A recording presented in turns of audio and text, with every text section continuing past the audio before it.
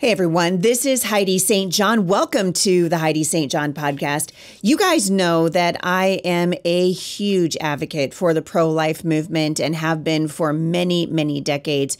And I've been following a young woman by the name of Angela Stanton King. I first found her on Instagram and I was just captivated by her voice in the Black community for the unborn.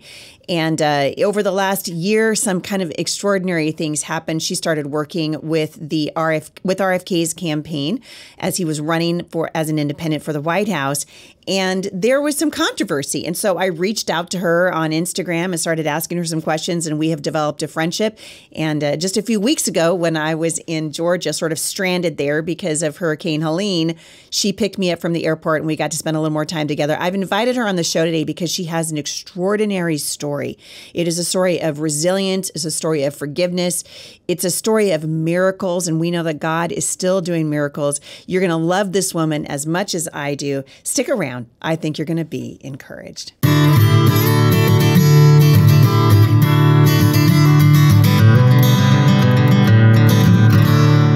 Before we jump in today, I want to let you guys know about some things that are happening on my calendar. I'm just about to wrap up my speaking season, but I got a couple things coming up. I'm going to be at the E Women Conference, Extraordinary Women Conference in Charlotte, North Carolina, uh, with my friend Lisa Bevere and several other wonderful keynote speakers. You guys are not going to want to miss it. You can find out more information by going to HeidiSt.John.com forward slash events. This is going to be a fantastic conference. Uh, last I heard, there's almost 2,000 women slated to attend this event. Uh, it's going to be great. So come and join me there. That's October 25th and 26th. And then in November, I'm going to be helping to MC the National Bible Bee. I love the Bible Bee. I'm uh, honored to be asked to be part of that panel. And I'm going to be working with my friends David and Jason Benham. We're going to have a hoot and holler and good time and so, uh, watch some extraordinary kids reciting the Bible. So I can't wait to do that. That's the National Bible Bee. Uh, but again, you guys, I would love to come and speak for your event in 2025. And you can find out more about how to invite me by going to HeidiSt.John.com and just clicking on the speaker tab. All right, I'm going to jump right into this interview. This is a hard hitting interview. Angela doesn't pull any punches, and we're going to be talking about some pretty serious issues. If you've got little ones, this might not be the episode that you want to listen to with them, or at least listen to it first and come back later if you feel like it's appropriate. But uh, I'm excited to share this interview with you. I love this woman, and I can't wait for you guys to meet her and follow her and get her book. And so uh, here's my interview with my friend, Angela Stanton King. All right, so Angie, my friend, welcome to the podcast. I'm so excited that you're here. I'm so glad to be here, Heidi. I remember when you and I kind of had our first exchange on IG. People were kind of upset with me, but God is amazing. I'll just say that. well, you okay? So since you you brought it up, I was going to bring it up too, but since you brought it up first, let's tell everybody kind of our first exchange and okay. how we became friends. Right. Um, you can shoot first. well, I, so I, I will say, okay, I'll start. I have been a super fan of your work, been following you on Instagram for quite a while and just watching your heart for uh, the unborn and to help uh, moms who find themselves with difficult pregnancies, maybe unplanned pregnancies. And so I followed your work for a really long time. And then you uh, came out in support of Robert Kennedy. And I think before then, so I I'm not sure if I'd messaged you before or not. I feel like I did. And uh, then you came out in support of Robert Kennedy, who I actually really uh, admire on many, many issues, except for abortion. and yeah. so I was like, hold up, hold up. How are you, this powerful voice for the unborn, helping RFK in his run for the White House? And this, of course, before he joined the Trump train and all the things. So that's how I remember it. How do you remember it? That's exactly how I remember it the same way. And um, one of the things that I remember about you is that you weren't attacking me, you were asking me. Because a lot of people came out and they were attacking me because they couldn't understand my position, or they couldn't see what God was doing. And you were just asking me because you couldn't understand it in that moment. And I couldn't even say that I understood it in that moment. I just know that that God said go. And um it was kind of almost similar to my relationship with Trump when I first went in to speak to him about criminal justice reform and how many people in my community didn't want me to go in or didn't want me to work with him because they felt yep. as though, you know, he was a racist. but I had to take emotions out of it mm-hmm. and go where my favor was in order to do the work that God had sent me to do. So, whew, that was a journey, but Girl. I wrote a book about it. well, and honestly, um, I was really happy to hear back from you because I I was watching the comments on Instagram and and uh, you took a bit of a shellacking. I mean, there's no, there's no question. But I loved your heart, and that's why I reached out to you because I was like, listen, I know this woman's heart. I can see her heart, and there's got to be a reason. And so let's take everybody back because I had invited you to come on the show. That was a long time ago, and I feel like we've lived 15 lifetimes since oh then. yes, it feels like it. yeah, it really does. And I was so uh, happy a few weeks ago. I had the opportunity to connect with you briefly when I got stranded in Atlanta on my way to Asheville and you were kind enough to pick me up from my hotel in the morning and and and take me to the airport. It's the first time I got to meet you in person, and you just radiate the love of Jesus. So. Uh, so excited for you and to see what God's doing with your life. Let's take everybody because you have an amazing story. Uh, it's it's almost it's one of those stories that even when you were telling me sort of the the brief version of your life story, I was like, what, what, the what, the what, the what. Like you have an amazing story. So take us back to let's just go back to the beginning, Angela, because I love your story is a story of redemption and it's a story of God at work and and and creating a way where there seemed to be no way. This is what the Lord does. So, uh, talk to us about kind of your growing up, where you came from, because this story. I hope everybody like sits down. Okay, everybody, get real quiet and listen because you're going to love this story. Man, Hit us. Tell us where you came from. It, it, it's such an awesome story that as I sit back and I look at it, I realize that it's only one that God could write. So, you know, mm. there have been mm. times in my lifetime when I've questioned things, right? And, and, you don't have to question anything. All you have to do is trust God. And so, this book that you see in the background, King Trump Kennedy, this is actually the story that's going to tell it all. I think this is kind of my best work yet, but um, and two, and a lot of people know my story. Like I, I was born into some poverty and dysfunction, you know, labeled to be a statistic like many mm. people from my community. Ended up, you know, going to prison, went to prison. Okay, wait, stop, stop, stop. One does not simply say I went to prison. Right. Yeah. How yeah. what happened? I mean, what why yeah. did you end up well, in prison? Oh gosh. You don't even need to give us the whole story, but just the was, give was, us so the anybody. It, so so my life has been so amazing that I've had to write several different books about it. So Lies of a Real Housewife is the first breaking story about how I ended up in prison. You know, in a in in a fraud scheme with with Phaedra Parks from Housewives of Atlanta and her husband Apollo, and getting out of prison, realizing that they framed me writing my life story to because I had nothing else left but my story. I mean, I was yeah. I was a mother that had gone to prison on, on this nonviolent charge, giving birth to my daughter, chained to a bed. Everybody was trying to encourage me to abort her. Being released from prison with a $25 check and a bus ticket after losing my mother and my grandmother both to massive heart attacks while I was in prison as well. So mm. basically losing everything except my children and coming home to absolutely nothing and trying to rebuild my life from there. And this was a time when they didn't have, you know, ban the box and they didn't have, you know, where you could get welfare or Section 8 if you were a convicted felon. So imagine being a convicted felon for a nonviolent charge and also being a mother that's trying to survive. So yeah. I ended up writing my life story about how I ended up going to prison and just really freeing myself from a lot of childhood trauma. And this was at a time that, that God told me he wanted me to write my story, right? And I knew that my story was a hot seat because boy, had I been through some things. If listen, you don't get to you were spilling some tea. Listen, I spilled some tea, but you don't get to King Trump and Kennedy by just being anybody. So you can imagine the life that I have lived to get to where I'm at now. But um, I told the story, and when I told the story, some people were not too happy. And um, I said, God, you told me to trust you. Here I am. Mm. I don't even have 30 cents. And I'm being sued by Phaedra Parks, BJ Bernstein, and L. Lin Wood for $30 million. And I don't even have 30 cents. And, and God says, trust me. Mm. And I'm like, okay, I got to be crazy, but you say trust you, so I'm going to do this. I want to step out on faith. And to make a long story short, I ended up getting an attorney to represent this case pro bono for four years and walking away victoriously, not only with my story, but with my own publishing company. And that's, you know, in the midst of me getting out of jail and, and while this court case is taking place, me rebuilding myself and ending up on the last day that I had in a shelter because you only get 45 days and then you have to max out and go somewhere else.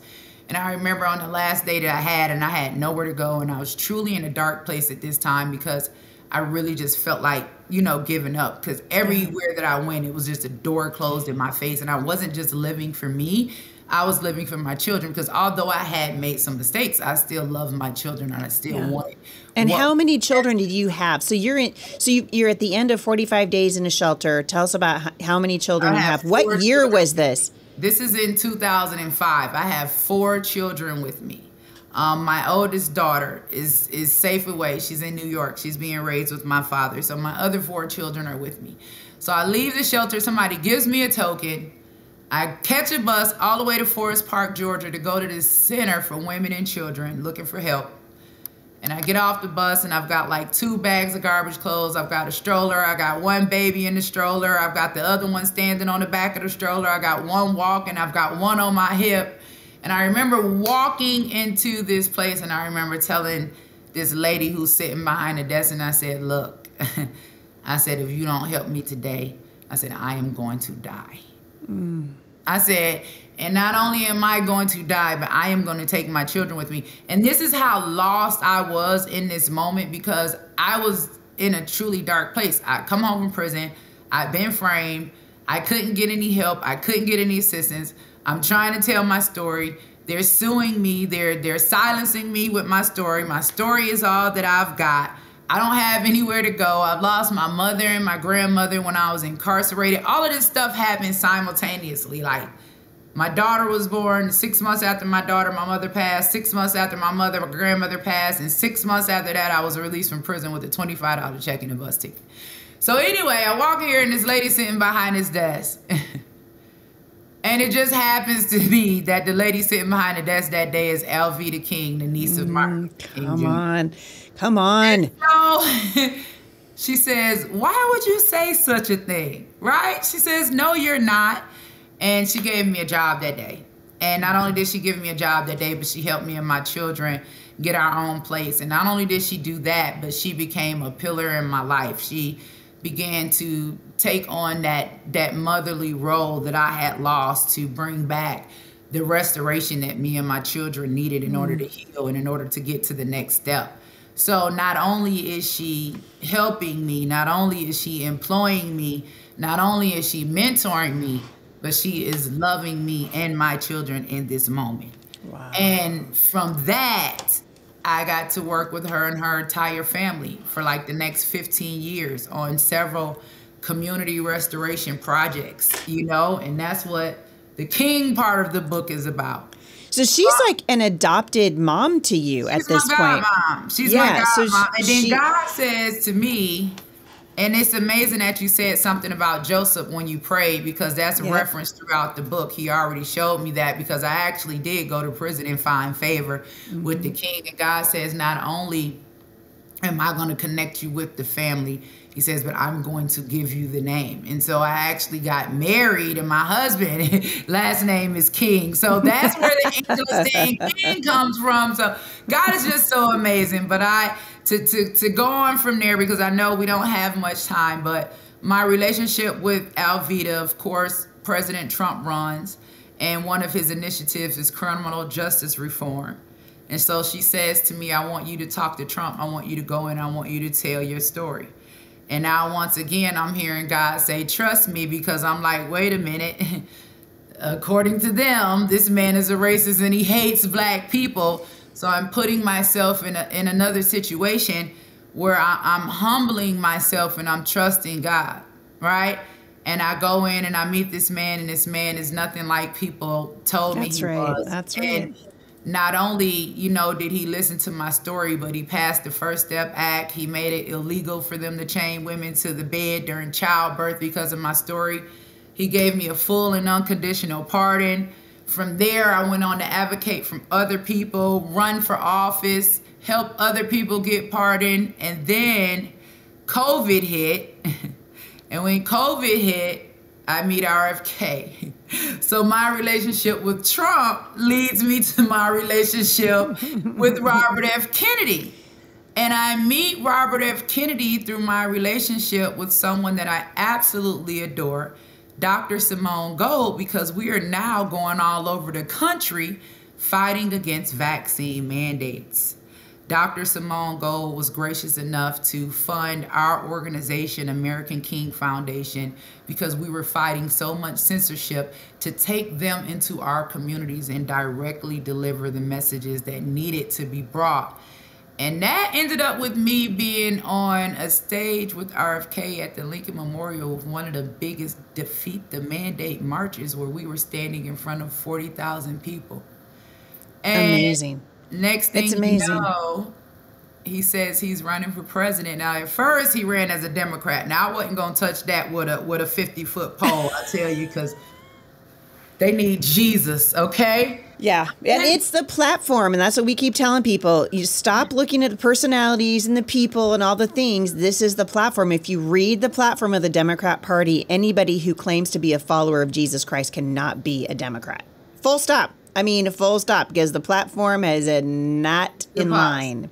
It's the yeah. policies, and and yeah. it's just it's not of God. It's not it's not of life. You know, it's it's it's everything. It's it's we're living in some very dark times right now, and I think people that are spiritual can see it, and I think that God is just aligning all his warriors and we come in, in different colors you know we come in from different religions we come from different parties and when RFK announced that he was running as an independent, at first when he announced he was running as a Democrat, I said if I ever had to support a Democrat, it would be him. And then he announced that he was coming as an independent. And because I knew RFK's heart and I knew this man who was so selfless and always so humble and always willing to listen to our communities. Because it's a lot of times people come to our communities and they do a lot of talking but they don't take the time to listen to us and then they don't take what we say and implement it into their policies when they're addressing our issues. Mm-hmm. So that was something that I respected about him. And that is how this story goes. King. It's it's kind of an amazing. Um, I want to go back to something because uh, there's so many aspects of your story that I find redeeming. Because I want to talk about um, Aunt Angie Aunt Angie's yeah. house. Yeah. But that but we can't talk about that without talking about your daughter. So you yeah. said that you you gave birth to a baby, literally chained to a bed. I can't even imagine. Yeah. Being chained to a bed while you're trying to have a baby. Un it's un barbaric, right? Just unbelievable. Well, I mean, but, they wouldn't do a dog like that. No, they would not. And they wanted I mean, they wanted you to get an abortion, right? I mean, this was this was the pressure that you were under in the penal system here in the United States It's just, well, you know, when, get an abortion. When you're when you're a prisoner or you're a ward of the state, you know, the cost of, of the birth, it, it lies on them. So it's cheaper for them to send me out, you know, to get an abortion than versus them having to actually pay for an entire birth or fund me while I'm pregnant or make sure that they provide medical care. And I mean, everything around the situation was completely dark, but the fact that that same daughter ended up winning the Harvard International Debate Championship and is now in her third year at MIT on a full Come on. So it's almost like God had a plan for her life and somebody was trying to take her out before she ever had a chance to take a breath outside your womb. And that is why we value life regardless yes. of its circumstances. Yeah. And that is why we have So you are then you would say to the pro choicer whose argument is, well, what about a baby who's conceived in rape? Mm-hmm. What would you say? Well, you know, it's a crazy story to that because my father was actually conceived in rape. And this was a story mm-hmm. that I didn't learn until I was an adult. And what people don't understand is that rape babies or abortion, it, it wipes out entire bloodlines and entire generations yeah. because you know, had my grandmother not chosen life, you know, my dad wouldn't have been born, I wouldn't have been born, my children wouldn't have been born. And I think about the reality of a lot of situations. I think about the fact that, you know, they advocate to abort the rape baby, but they don't advocate to abort the rapist. Okay, mm-hmm. like if, if, you're gonna kill the baby, kill the rapist. Okay, mm-hmm. like the, we're we're snuffing out innocent life, and I I just think that there is value in life. I know people that were conceived and raped. Besides my father, I, ha- I have a cousin. I have a good friend of mine. She's a huge influencer. Her name is Shamika Michelle.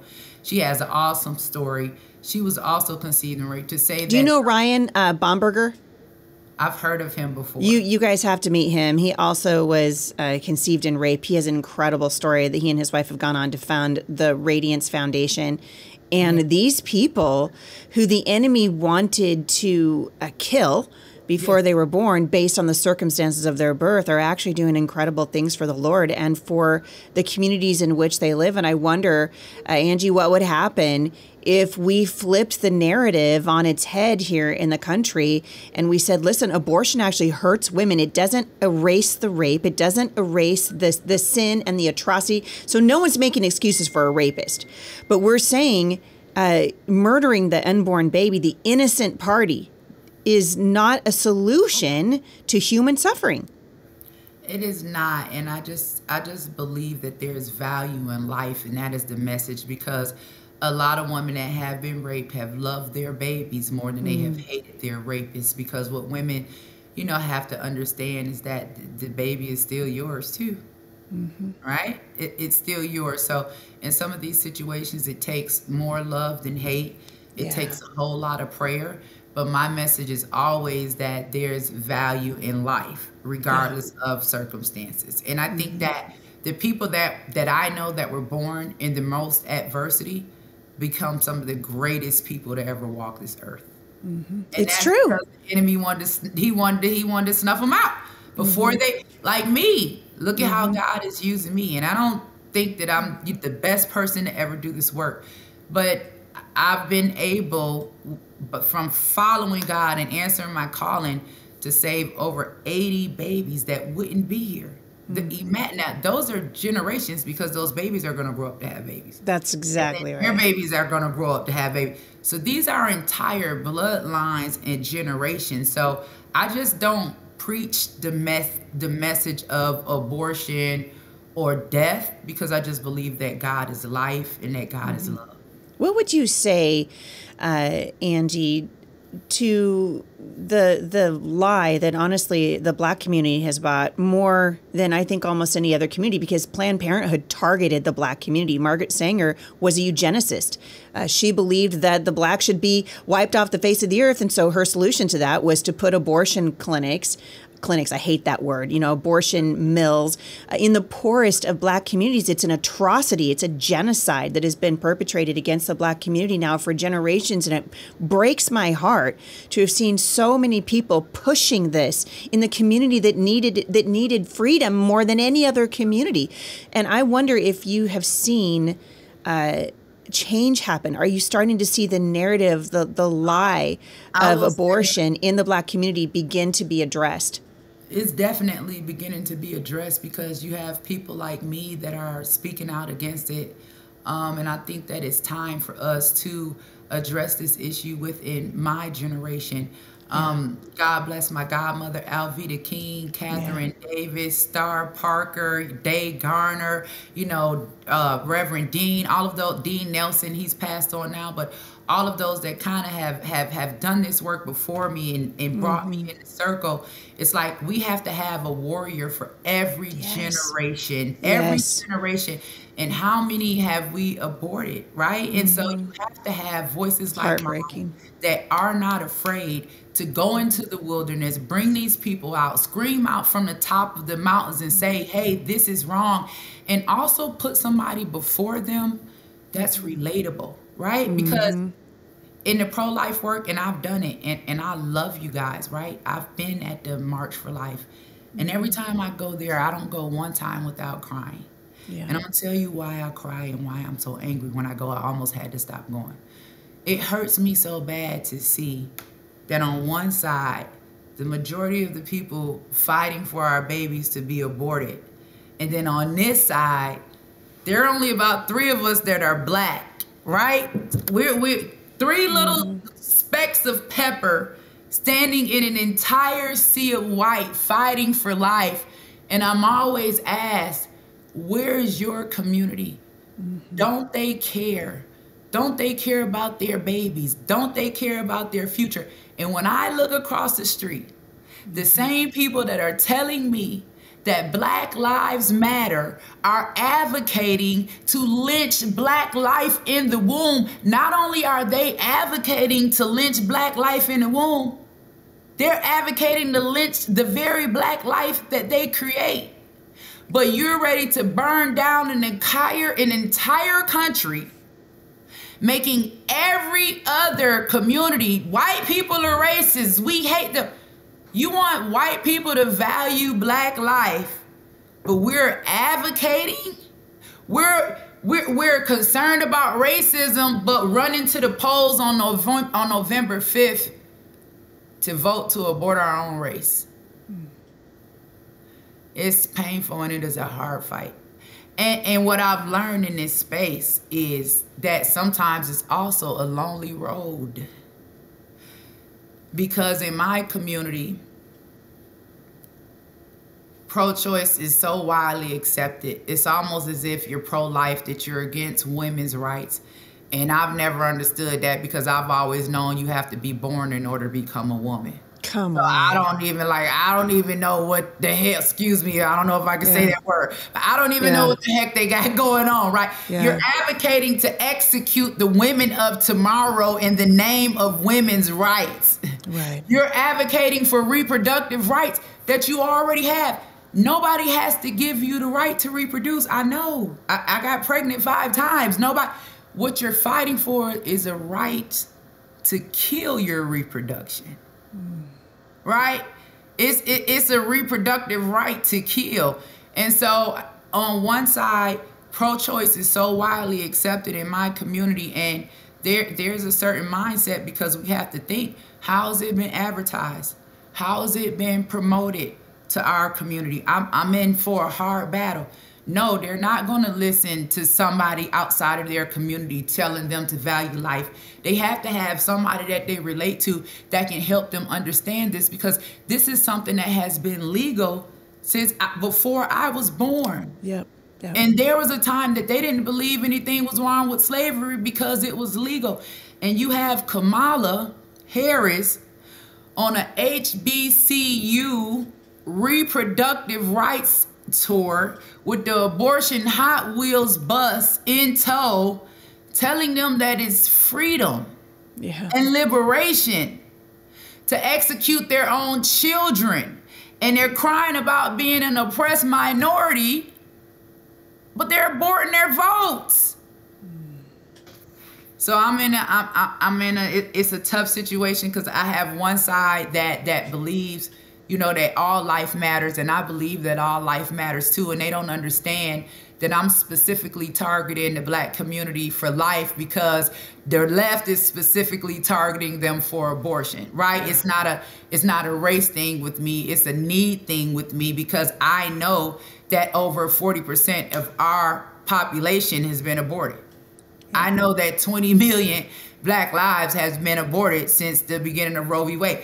I know that we have abortion clinics in our communities all across America, and there isn't one single abortion clinic at the border. Yeah. Yeah, I have good sense. Yeah. right? Yeah. And I know that every time something comes out of a black woman's mouth that is supposedly a lead member in Congress on the Democrat side, it is about us having a right to execute our own children and that's something that I cannot respect in a day and area with the, in a day and era where they are saying Black Lives Matter mm. and they mm. want to burn down the entire country. That's right. While aborting their own children and lynching them in the womb. I just I can't stand with that. Well, and I mean, I'm just, I listen to you, and this has happened to me every time I'm uh, around you. It just moves me to tears. Uh, it's, it's horrific. It's, uh, it's absolutely horrific. And I had, I was interviewing a gentleman the other day who's uh, running for governor here in Washington state and the uh, the the pro-choice lobby is uh, it's demonic, right? And so the the talking points that come out of the the pro-choice lobby, they want to soften the language, right? It becomes about women's rights, and I love that you so rightly frame it. You're not asking for reproductive rights; you're asking for the right to extinguish, to exterminate your own children.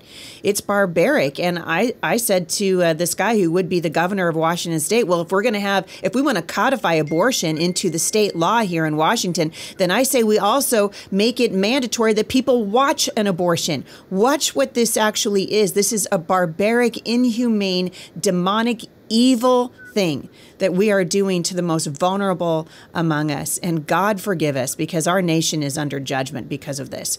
And uh, I, I, I have been, you know, for a long, long time. I don't think, I mean, Angela, we haven't had a whole lot of time to talk, but they wanted me to abort my own daughter when she was uh, in the womb because they said she had a heart anomaly and her thigh measurements were off, and God forbid she would have Down syndrome. And so, at 17 weeks uh, at Emanuel Hospital in the middle of downtown Portland, they invited me to take the life of my own child. And as I consider what is happening in the world right now, I mean, we obviously we made a choice that day, and I just said, "No, did you not see her on an ultrasound? I saw a baby suck at its thumb. I saw 10, 10 fingers and ten toes, and I watched a little heartbeat. Uh, no, I'm not taking the life of, of this little one. It's not my life to take. The Lord said, "I give and I take away." And when we do that, boy, we commit we commit murder. And that is the truth. And I love that you are so boldly speaking out because you're right. Uh, you know, in the pro-life movement, as with so many other issues, we're never going to reach the communities we want until we have people who actually represent those communities who are bold enough to stand up and say no no more, we can't continue with this. And speaking out against Black Lives Matter, it's the same thing, right? Black Lives Matter doesn't care about black people. They don't care about the black unborn. They don't care about black conservatives. They don't care about uh, black police officers. They don't care about it, it. They're a Marxist political organization that is hell bent on extinguishing many of the people who would potentially vote for them in the future. It's astonishing. You took your voice and your platform and you created Angie's house. And this is part of the, this was sort of how I found you. Tell us a little bit about that because I want my listeners to get on board and uh, support what you're doing. So you remember I said I used to, it would hurt me when I would go to the March for Life. Like it was a really, and it brings tears to my eyes now because. Yeah. It just really hurt me that I felt like I was standing alone and we were wiping out an entire generation I just couldn't understand how black women were so misled. Mm-hmm. And how we had gone from an era of, of civil rights where we were, you know, fighting to be free to fighting to, you know, execute our own children. And it just hurts because we're nothing without our children. Like life has to go on. We may not live another 40, 50 years. We're going to eventually wipe out, right? And our children are the future. So how many are we aborting, right? Mm-hmm. But anyway, so I, I used to get tired of, of going to the marches because I had been on the argument side of pro-life for so long. And I said, you know what? Roe v. Wade was overturned. We were all excited. And I said, now it's time to provide a solution. I've been arguing long enough. I was and I wasn't the type for protest because you guys would have to come buy me out of jail every time I swing, right? So I, am the Peter out there. I'm, I'm, gonna cut the ear off. Y'all go on and, and get She's me out Peter out there with the sword, yeah. yeah. Ear back on, get me out of jail. I'm Peter, so it's I can't be in that energy. so I said it's time to be on the on the solution side. Like we've won that part of the fight. Now what do we do? And so I kept hearing this word choice, choice, choice. And then I, I, heard the Spirit say, choosing to keep the baby is also a choice. Mm. Right? Mm-hmm. And I said, okay, because I'm I lived in a heavy Democrat family. And it's not just about me arguing on these platforms. Like I really, it's a real conversation with people that are really, really claiming to be pro-choice. But even if you're pro-choice, that doesn't mean that you can't support pro-life. Mm-hmm right? Mm-hmm. That doesn't mm-hmm. mean that you can't support pro life. And so he says choice. And so I started doing my research about where all of these abortion clinics were placed. And I realized that yes, 80% of them were in our communities. And I said, okay, if Planned Parenthood is the only place that they have to go, are they really given a choice? Because in a lot of these communities, Planned Parenthood is the only place to go. And it's the I, only choice. It's the only choice. And then I thought about it and I'm like, you know, when I'm hungry, I want to go grab a bite to eat during my lunch break. It's usually a McDonald's or a Burger King. It's usually a Popeyes or a KFC. I said, but here is Planned Parenthood. And I just had this vision that we would have uh, Auntie Angie's house everywhere that there was a Planned Parenthood in a black community so that women would actually have the option to choose life right? Yeah. That they don't just have to go to the abortion clinic and feel like an abortion is the only way to go because this message that we need to abort our children because of poverty is just not true. Mm-hmm. And no woman should be having an abortion because she feels that she doesn't have support. Yeah. And so I started my first Auntie Angie's house. I went through a lot. They burned down our location. We were in the King District. We had a nine bedroom, nine bath. We Wait, when you say hold on, hold on, you go you you skip over these things. when you say they burned down our location, for example, yeah, what do you mean? We don't know who did it, but we got in a location and um we were re- we were renovating the location and I went to meet the contractor and the entire building was gone. And um, we happened to catch the news clip and it the neighbors heard a loud explosion and then the next thing we know it was engulfed. The funny thing though was that this this this home was directly across from senator warnock's church. Uh-oh. Yeah so I said, okay. That I, man, I, I'm I said, serious. Listen, hey, mm. I'm not Heidi. We're not saying he did it. We don't want anybody. No, I'm not saying he did it. I'm just saying there's a special place in hell for that man who well, says that he who says that he represents the King of Kings and the Lord of Lords and advocates for the extinguishing of human life in the womb. That's all it's everything that he represents is anti-life. It's an anti-God yep. agenda. Yep. Yeah. So take the Reverend off your name, Warnock. I mean, I'm sorry. It just it just seems to me that his name sounds a lot like Warlock, but I'm just, I mean, that's, well, that's just me. I actually refer to him as. I mean, Warlock, but yeah. Know, anyway, uh, anyway, I said, I, I said, God, I said, okay, that's another one. He says, trust me. He says, the building is burned down, but the vision is not burned out. I want to say two months later, we started with us a single bedroom home. I mean, a single family home. It was a two bedroom, one bath. It wasn't much but it was a start to help some women that would need somewhere to go in that community. And then from there, RFK stops by and all freaking hell breaks loose. okay. And so this is where so you and you don't expect this, do you? I mean, it wasn't like you were No, because right. other other people from other political parties had been by Auntie Angie's house. I was political, but the organization was not. The organization is a 501c3 anyone that wants to come by and support mothers and children, they can. But when RFK stepped foot in Auntie Angie's house, game changer. All hell broke loose. All, all hell broke loose. All hell broke loose. And I'm like, God, what is going on? now, why why did he stop by? Why why did he, why was he interested? Um, I had actually called him and asked him to come by. I had actually, um, I put in a call to Trump too. I didn't have Trump's direct number, so I couldn't call him directly. But I did have RFK's direct number. Um, I put a call into one of Trump's advisors and um, asked her if Trump could come by. And she told me that um, I couldn't expect him to sit on the sofa. And I didn't hold it against Trump. But um, I did feel some type of way because I felt like you know, we had created, you know, relationships and bonds, and we were all a team and we were all working together. And in my mind, I had really set this whole thing up with with Trump in mind. I had envisioned, sure. you know, Trump coming to Auntie Angie's house. He had pardoned me. He had given me this awesome platform, this awesome renewal on life, and I was tired of people calling Trump a racist. You know, if you watch my Breakfast Club interview, and I've stood 10 toes down for Trump, and I'm like, what is a better way for him to show these people that he is not racist and to be sitting here in the hood, right? Mm-hmm. Holding one of our babies, promoting mm-hmm. maternal health. And, and, and talking about saving black. And what's funny about that is even even if he does that, they're still going to scream that he's a racist. They're, they're going to say they're going to say it was a photo op. He didn't really mean it. Uh, I mean, like you, when I met with him, you know, the first time I spent about an hour with him and spoke with him. He loves the country. He's a good man. Uh, he's a good man. He's bombastic, but he's a good man. you know, he and he's he's aggressive and he's assertive, but that's okay. That's how God. That's what, and that's how God created him. And frankly, that's what we need right now. And I'm the same way. And, and yeah. so, and sometimes you know people don't get it because I'm I'm very straightforward. I'm very aggressive. I don't like to play, and so you know I said, okay. I just I just kept going when I found out that, you know, Trump couldn't come by or whatever. And I called RFK and RFK said, yeah, I'll come by.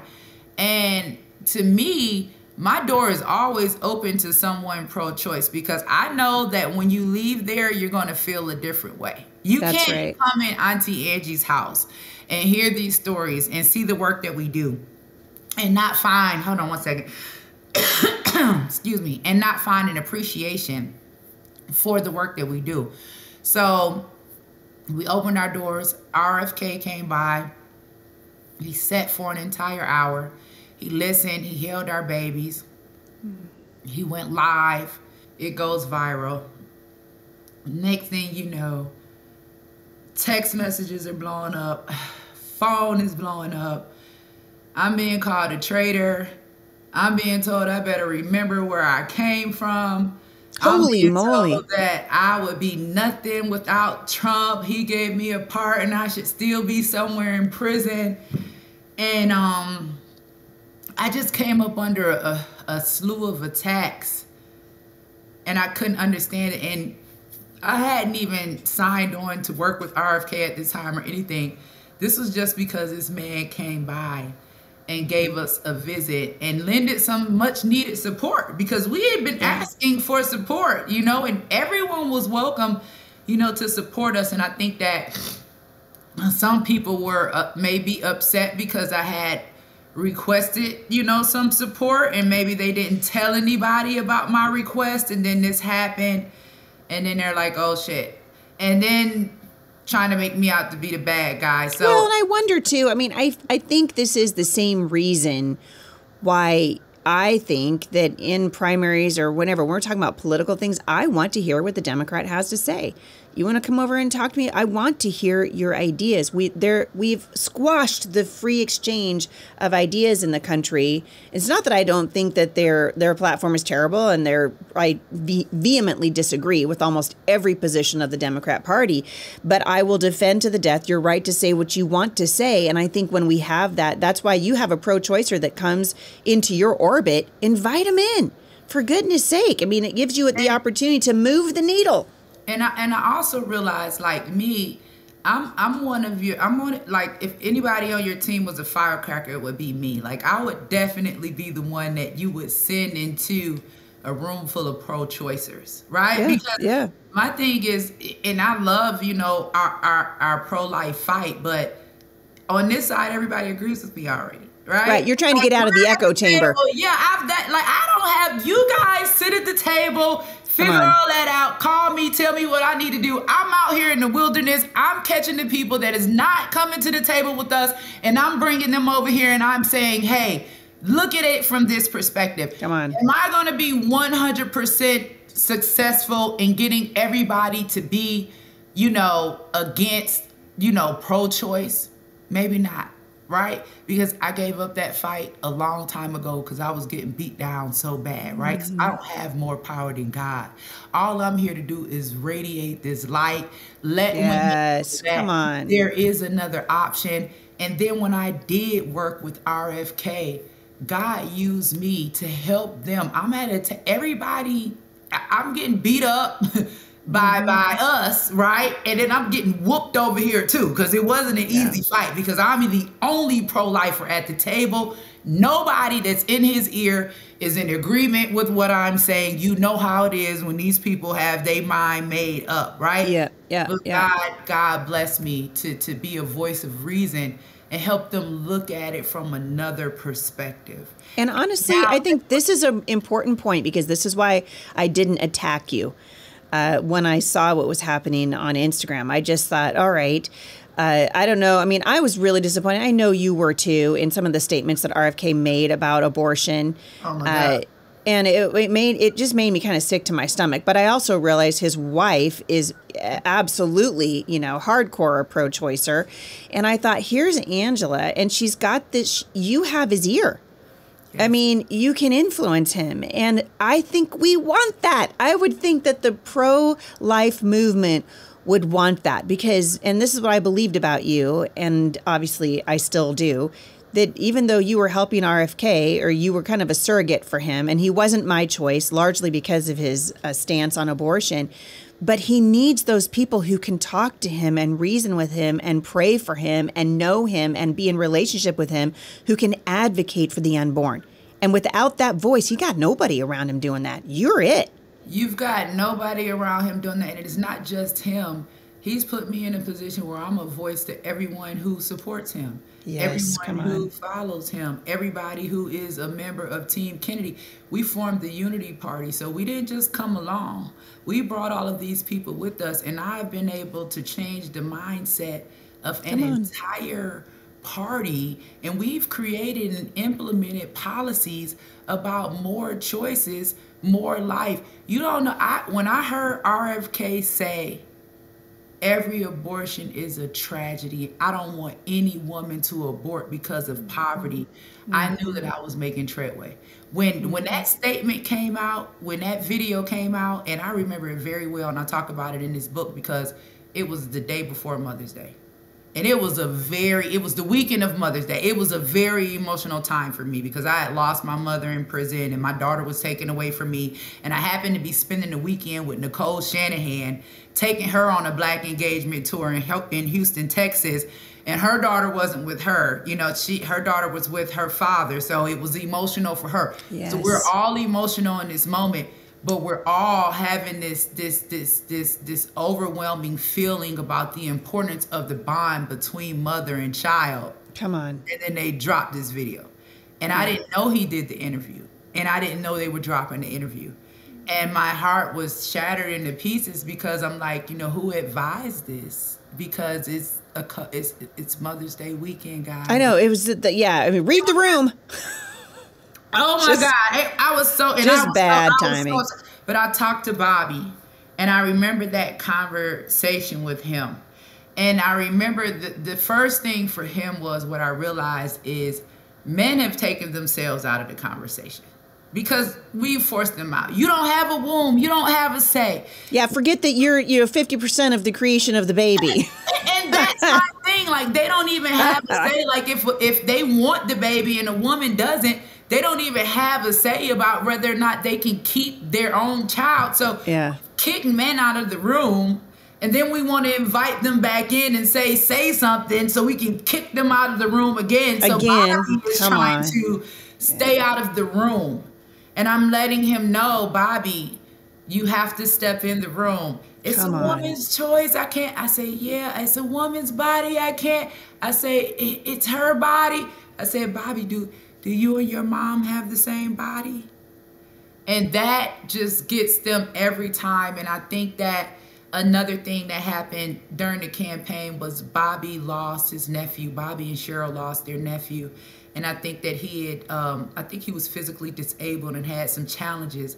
And I just remember telling them that he was so happy and full of life that this is why we're pro-life because every life has value. Right. And this is yes. why I yes. pro life. And then once I was able to work with them and started submitting policy and information on how it was a black genocide and how they were killing my people, they were like, oh, wait a minute, hold on, something's got to give. So God was working the whole time. And I had already prayed for a unity ticket right? Because mm-hmm. you can ask anybody. When it comes to RFK and Trump, those are my two favorite white men in this whole wide world, okay? I do not play about RFK and Trump. But I had already said a long time ago we needed a unity ticket because we needed to bring our we needed to bring our country together. We needed to stop right. fighting. Like even yes. Come on. Fighting each other. We're no longer sitting at the dinner table. We Yeah. don't want to fight. We want to bring all of these ideas, everything together, and we want to find solutions. So We want to win again, I- and I Yes. think you know we've we've we've lost so much of this country. Uh, we've lost the patriotism. We've lost our history. You know, even the bad history. Let's not lose it so that we don't uh, repeat it. Let's to, let's let's embrace the actual history of the United States again. And to me, I mean, I recently teamed up with a guy that I ran against in 2022 for my um, in my run for Congress. And when people came after me, why are you doing that? Why are you doing? That? I'm like, because I'm tired of losing. We have to be able to work together. We have to be able to sit down at a table and go, do we agree on 80%? Okay, then we agree. Do we agree on 85%, 90% of the time? We agree.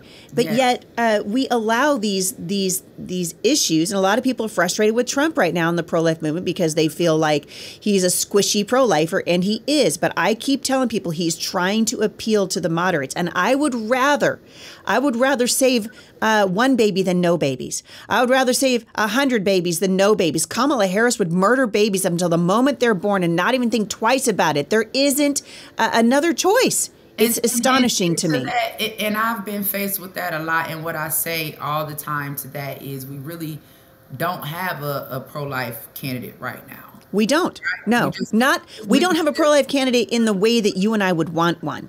Uh, Right. We don't have a pro life candidate who understands why we're pro life, right? To them, it's a political issue. But these are not political issues to Heidi St. John and to Angela Stanton. These are moral issues. These are issues of right and wrong, of good versus evil. But unfortunately, the culture is not there right now because these voices have not been elevated. And with Trump in the White House, you have a chance. And with RFK working with him, you have a chance to make your case. And without uh, voices like that, you don't even have an opportunity to make your case for And you- life, right? You're right because there are no voices like mine on the Democrat side.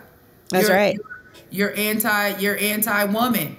If you speak about saving black life, if you speak about valuing black life, if you speak about us not being willing participants to lynch our own children in the womb, The hypocrisy is stunning. It's just stunning. It Uh, the, it, it is like Black Lives Matter is such a joke, and I mean I saw this very early on. I was like, you, you guys, the people that are promoting Black Lives Matter want you to murder the unborn black baby. So don't tell me that they care about Black lives. What a joke from the very beginning. Then of course we discover Patrisse Cullors, just a you know just a con artist.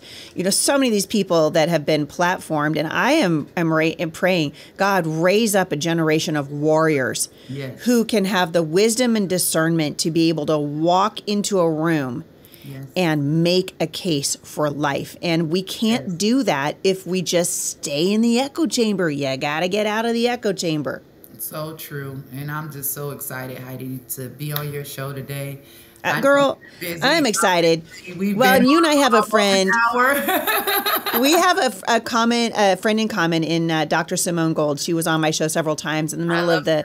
I love her too. In the middle of the pandemic, these voices that are so brave and have really taken a hit. I mean, Simone took a hit, See, and oh, uh, listen, I talk about that in the book. Everybody, you've got to go get your copy. So I tell us, talk uh, tell us about the book, and I'm going to link to it in the show notes today. But uh, tell us a little bit about your book, and because it just came out, I'm so I'm super excited. It just came out. You're actually the first show that I've done since it Come dropped. on, come LA. on. I'm feeling kind of good about that.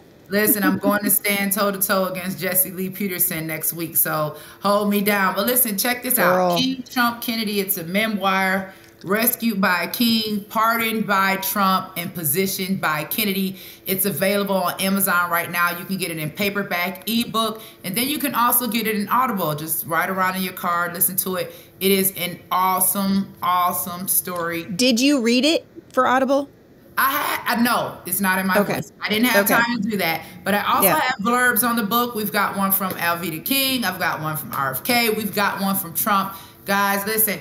The foreword was written by my favorite uncle, Uncle Roger Stone. Guys, uh, this story is just so freaking amazing. You have to read this book. We talk about what happened with January 6th. I talk about the Tulsa rally, uh, flying in on the plane with Herman Cain. We know, God bless his soul, he passed away too long, not after that. Like, there's some really, really, really good stuff in this book.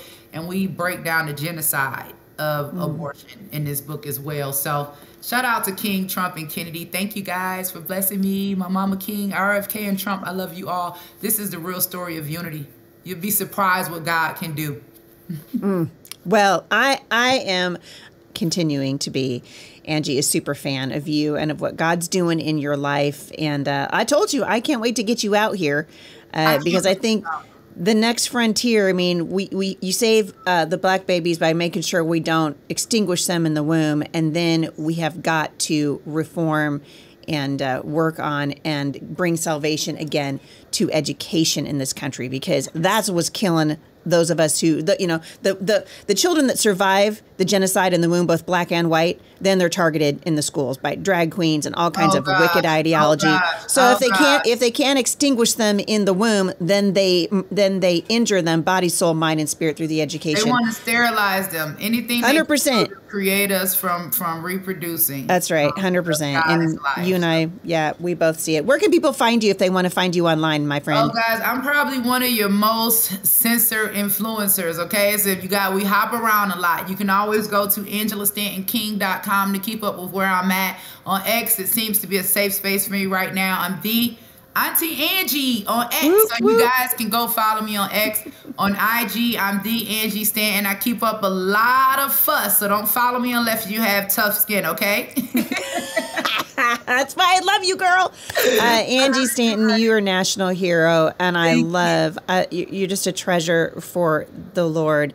I love what God is doing through your story. It's a redemption story, and uh, you are a modern day Joseph. And I'm so I can't wait to see where God takes you next. So, uh, yes. so keep me on your short list. I will. I want you to go get that Audible version, Heidi. I want you to read that book and call me back and give me a review. And I want to Girl. add you to my reviews online. All right. I will. I will do it. Hey, you guys, for those of you who want more information about my guest today, you know how to do it. Hop on over the show notes. I will link back to her new book in the show notes today, and I hope that it encourages you. You guys, there's so much work to be done in the pro life movement, and this is the moment that we can work together to, uh, to bring more voices to the table and start talking to each other. I hope you've been encouraged by this interview, and I will see you right back here again at the intersection of faith and